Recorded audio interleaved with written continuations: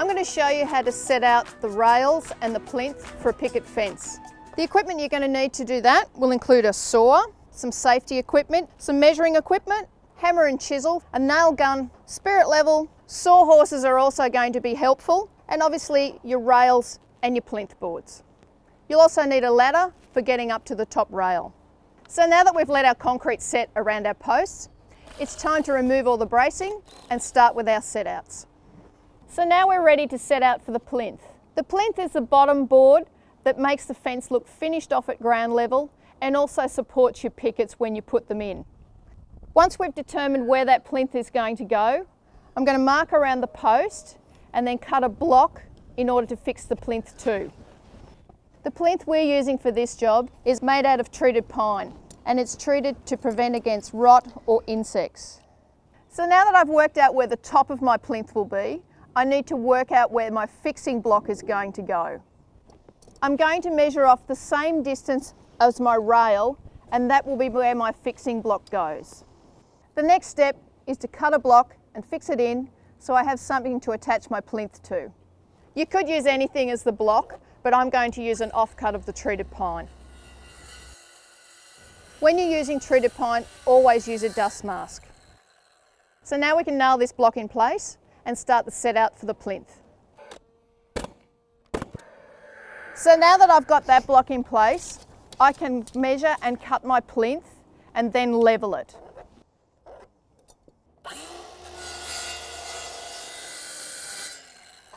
So now we can put the plinth in place, fix it one end and then level off the other end. I'm just putting one nail in at this stage so that I can level the plinth completely across and then nail it off. So now that I've got my plinth level, I can mark off on the post and transfer those marks around where I'm going to put my fixing block. I now need to cut another block to fix onto the post that I can fix my plinth to but I'm actually going to cut a few because I'll need them for each post. So I'm now going to fix this block in place, then fix my plinth back to the blocks, and then continue along between all the posts all the way along the fence line. So now that we've got our plinth line all the way through this fence, we're now going to start setting out for the rails. This post here is part of the existing fence line for the rest of the property. So I'm going to use all my measurements from this post. You can see that it's already been checked out in a couple of spots, so these will be our reference lines. Now just a little way to make it easy for you is I use one of the pickets that you'll be using for the fence. Just put it up on top of the plinth and make all these marks that correspond with the rail cutouts. If you were starting from scratch to try and work out where to put your rails, Ideally you'd put one through round about the centre of the picket and then come up a little bit from the bottom, down a bit from the top, just enough to keep the picket nice and straight. So now that I've transferred my marks onto the picket, I'm going to square those lines across and use it to mark out the rest of my posts. This is a handy way to make sure that all the measurements on all the posts are identical. So now we've got our marks on the post, we can transfer those lines around with the square and we've got the set out section for our rails. Then you can come back and work out the depth of the rail and make that mark. I tend to put a cross on the piece of timber that I'm actually going to cut out. It's a good visual reminder of the piece you'll be taking out of the post. So now that we've marked out for the rails on all our posts, we need to cut them.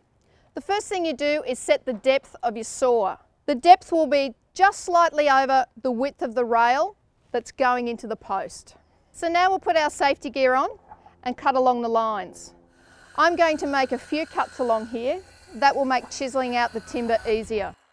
The first thing I'm going to do is just chisel down the pencil line. That will give me a nice clean edge when all the waste is gone. Also make sure that you don't chip away at the rest of the post. So I'll just do the same on the other side and then we can get rid of all the middle part.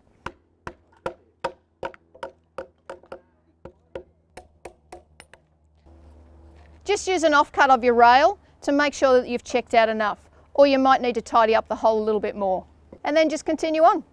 So now that we've cut out for all our rails into the post, it's time to do the ones in the corner.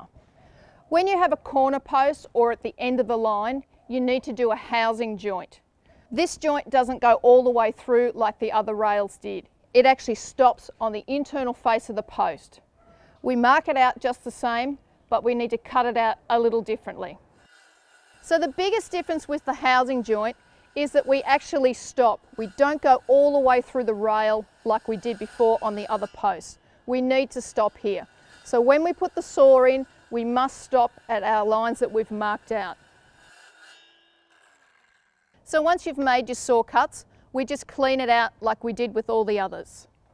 So I've just taken the measurements between my first two posts. Because the overall length is longer than the timber that I'm using for the rail, I'll need to make some joins. So you'll always join it in the centre of a post. I'm going to start with a short span, then have a longer span, and on the next level I'm going to reverse that, long over short, short over long. When we make the cut for in the corner, we do that at a 45 degree angle so that the rail coming from the other direction will meet in the middle. So now we're just going to measure out the rail for the first section, make that cut and pop it into place. So now that we've cut our rail, this is the 45 end that's going to go into the corner. And then we just need to nail it off. You'll notice that the timber rails I'm using are a pink colour. They are also treated pine timber, but they've been primed, ready for painting. It just makes the painting process easier later on. But now I'll just continue along this rail, do the top and the bottom as well. So that's it, we've set out and put our plinths and our rails in. The next step is going to be to put the pickets on.